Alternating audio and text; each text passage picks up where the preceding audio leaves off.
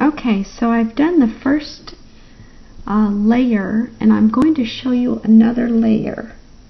So this is going to be my second layer on my glazing. I'm going to pick up the same sort of colors, um, my reds, my opera pink, my alizarin crimson, and just start working it in. It doesn't matter if you go over with a different color.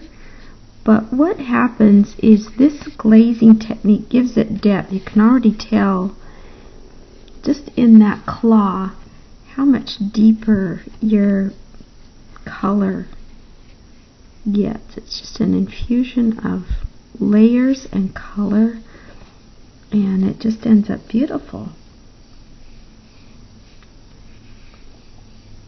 You can see that go over that with a little bit of New Gamboge.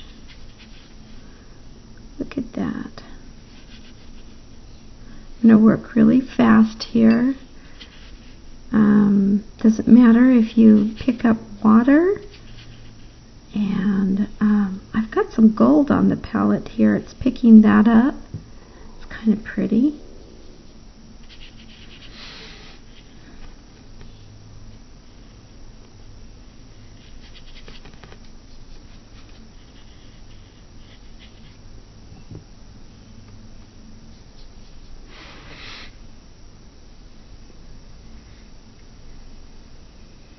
So I'm just working fairly fast. I mean, fast enough that you can stay in the lines of your silhouette.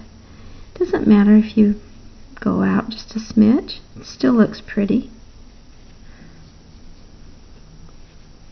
So this is layer two. I'm probably going to do three or four layers. I, I love the look that I get with this glazing. Um, you can do this with any silhouette or think of it as um, giving it any painting that you do depth. When I make my flowers, when I paint flowers, I like to use a loose, looser stroke, but go back in and glaze on top of some of the petals.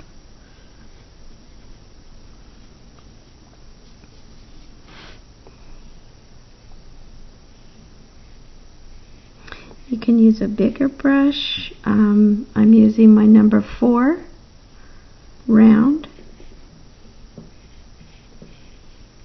You want a nice springy brush.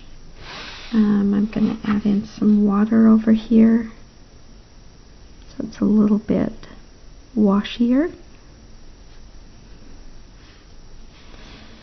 Add in some new gamboge there. If you get it too thick, don't worry, just take a little bit off. And the way that I take it off is I dip my paintbrush in water, wipe it on my sponge, my kitchen sponge, and then um, just lift off a little bit can see how that little edge right there, I might not like that, so I just take a little water, wash over it.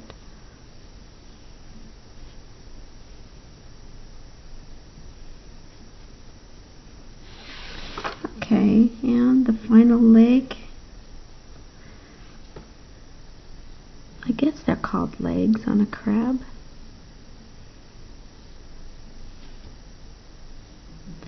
I'll try to marry this video to the first one so you can see how I did the first uh, layer. So there's layer two. And let me pause the video.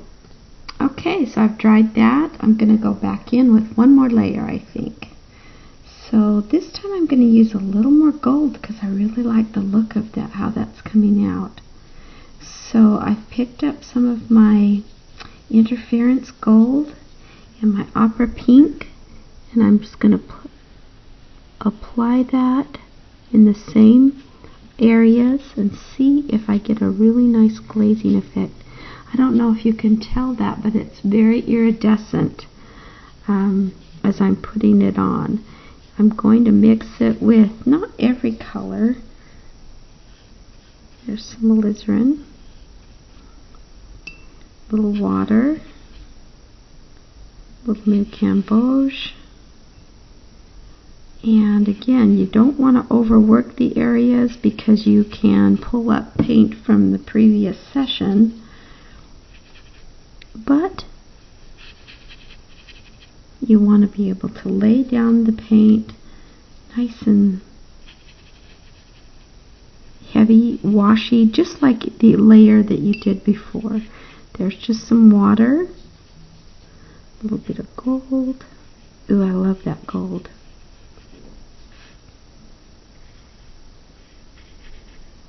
Okay. And this layer just is washing very fast over the top because I'm not having to be so careful on the lines.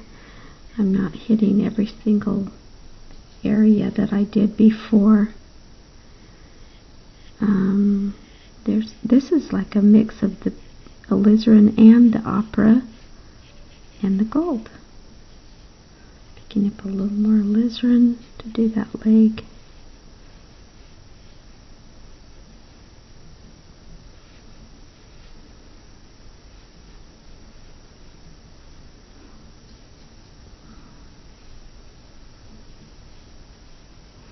Um, you get areas like that, show you what to do. Just put a little water and let it wash around. Add in some color. Don't be afraid if it gets um, globby. It's kind of cool looking. Put gold in there.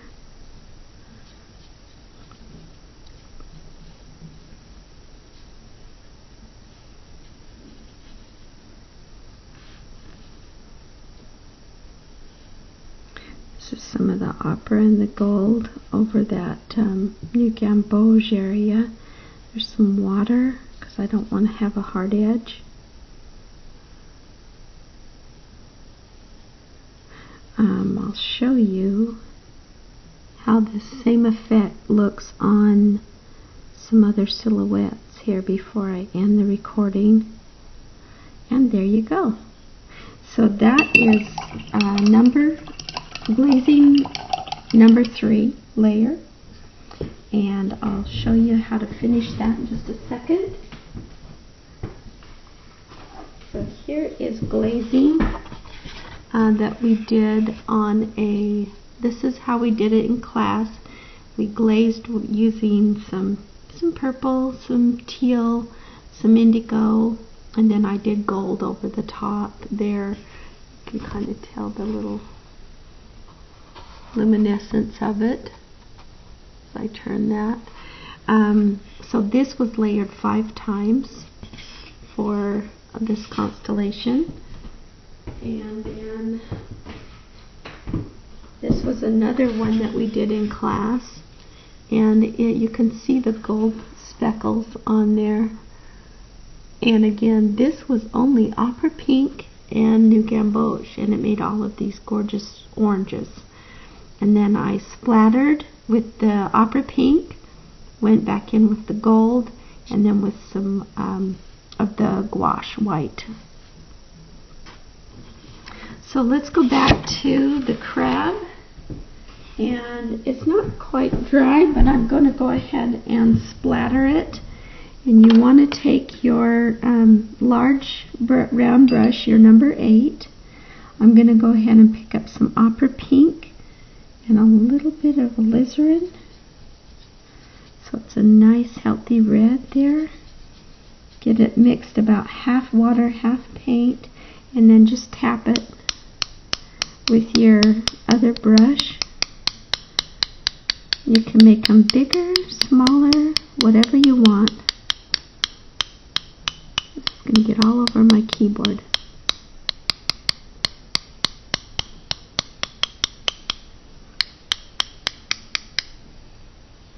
and then I'll go back in and I'll do the red, um, uh, the white, and the gold. So enjoy your glazing today and thanks for joining me. Before I sign off, I just wanted to show you the final piece. I put a little salt on there and it's got the gold coming through. I thought it looked really nice.